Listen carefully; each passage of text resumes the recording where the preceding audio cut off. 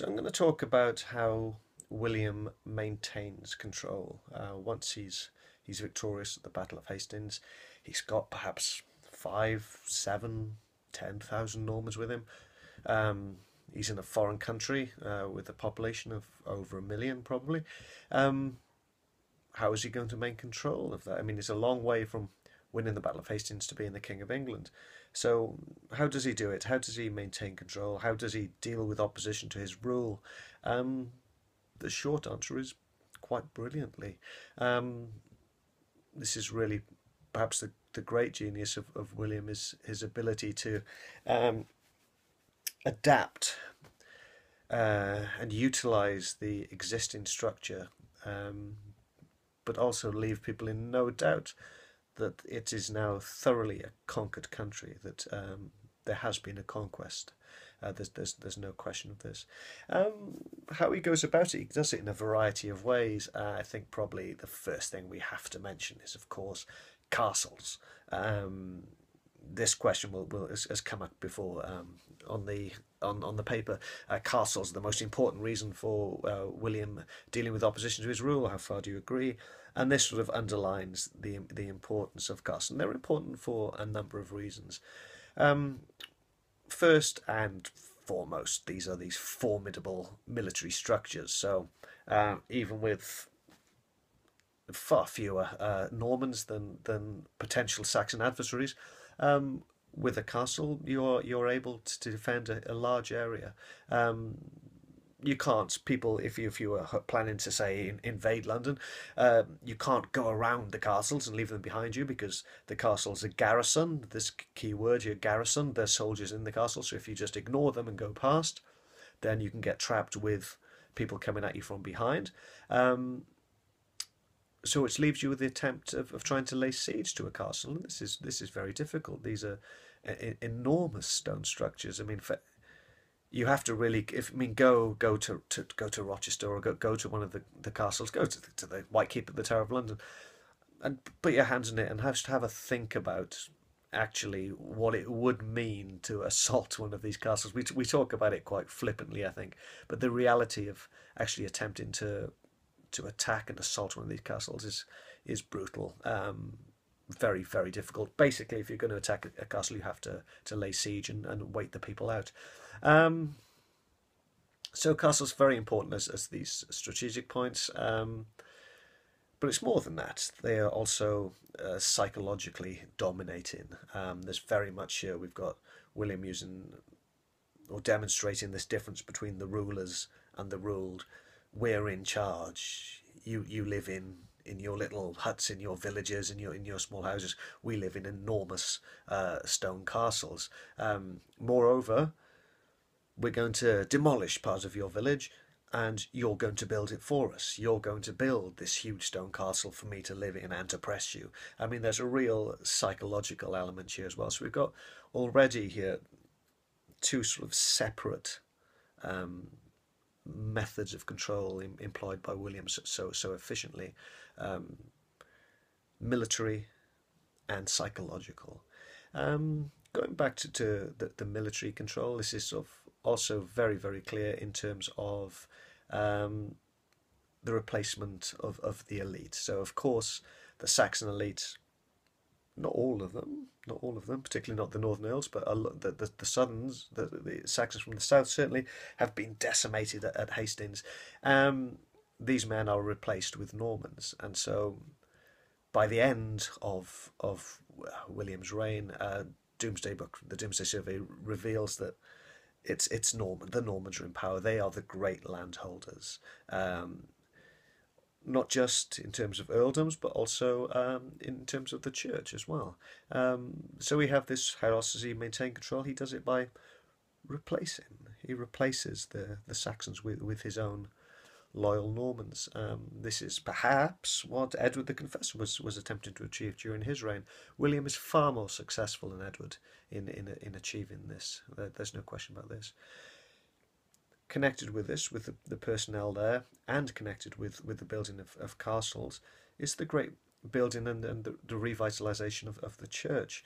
So through Lanfranc, who is enforcing the, the papal reform movement in terms of the Cluniac reforms at this, the great uh, reforms of the monasteries. This really begins also in, in William's reign. So we have these enormous uh, Romanesque churches uh, start start to appear. Of course, uh, Westminster Abbey is, is, the first great Romanesque building um, during the reign of Edward, but um, William advances on this, and of course he builds Battle Abbey. Of course, is is built uh, to do penance at the site of, of, of his great victory, but also, of course, his his great sin. His thousands of people have been killed here. So, uh, yeah, he's a little bit. I think, uh, certainly according to Orderic Vitalis, uh, William is, is is certainly worried about what's going to happen to him when he shuffles off this mortal coil, and this building of uh, Battle Abbey, and this revitalization of of of the uh, Saxon Church is is another important method of, of maintaining control. It, it legitimizes his conquest again. It puts him in contact with, with, with the papacy. So he's able. I mean, this is difficult time, as as you know, for rulers in terms of the, their relationship with with the papacy. But William manages this very very well. I think um, he manages to get what he needs from the papacy without really making too much or too many con- concessions here. So we've got um, the church, reforming of the church, um, the cleaning up of clerical abuses. We've got a Norman Archbishop of Canterbury and other important uh, Norman bishops. Uh, Lanfranc, of course, I'm talking about there. We've got um, Romanesque architecture in terms of the churches, also in terms of the castles. We've got important officials. Um, and then we go on to really um, other methods of control. This is going to be connected to the, ne- the next video, which is which I'll be talking about changes to government. Um, but we also need to think about some significant changes he, he makes uh, to government which have specifically to do with keeping control. Um, firstly, there's the more visible showing of power. So crown wearings, um, and being anointed with the holy oil. So this is already occurring under Edward, but uh, and the Saxon kings, but William makes it far more, far more regular and far more visible. It's here I am. I'm the king. I'm in control. Um, God has ordained me. Behold, behold your king. Behold your Norman king. Um, difficult. I mean, um, you know, we can't put our our minds really. We can't empathise what it was like to, to live in the Middle Ages, but we, we can imagine that this is impressive, that this is an, an, an impressive thing upon the, let's say, perhaps poorly educated um, uh, amongst amongst the Saxon peasantry uh, and and nobility. This is a real show of power, um, and this demonstrating power in itself is is is you know it gives power. This is enough, isn't it? just to demonstrate this. Um, so wear has become very important. Um, he also makes specific changes to the law, uh, which are specifically to enforce Norman rule. Um, interestingly, we have trial by battle. Uh, trial by battle is introduced. Uh, this we can talk about this reflecting the more militaristic nature of uh, of Norman of the uh, the Norman nobility uh, as opposed to the, to the, Saxon. And of course, trial by battle is, is at this stage, this is for the sophisticated Normans, this is how they solve their claims. The Saxons are still suffering through trial by ordeal, I talked about when I, I spoke about the Saxon state previously. Um, we also get the two laws that, for some reason, these always stick in students' mind. I'm never really sure, sure why, but the, the forest law. Um, so this is to do again, similar to the building of castles. We get enormous villages, enormous areas, uh, farming areas cleared. These are cleared by the Saxons. Forests are planted. Um, the new forest is planted. Sherwood Forest is expanded. All of these these great areas, and it's it's for royal hunting. Um, if you are caught, on this land, um, if you're building on this land, if you're hunting on this land, and you're a Saxon and you don't have the uh, the permission of, of, of the nobility of, of the, the, Normans in charge, then you're going you're going to be fined for this. Um, and this is tied up here again. This this separation. You're different to we are. There's different rules for you and I. Um, not only that, it's going to cost you. It's going to bring money into me. And then, of course, there is the murdrum fine. This is so people tend to sort of think about the murdrum fine and the forest law together at, at this stage. And so we have the murdrum fine, and this is specifically if a Norman is found dead, um, it's going to be the Saxons' fault, isn't it? Um, so the Saxons are to blame, and if the Saxons, uh, if the village, if the hundred is unable to uh, bring out the uh, the guilty party, then the the whole hundred is going to be punished. It's going to be making money once again. It's increasing this division between the Normans and the Saxons. There's a different set of rules for you than there are for me.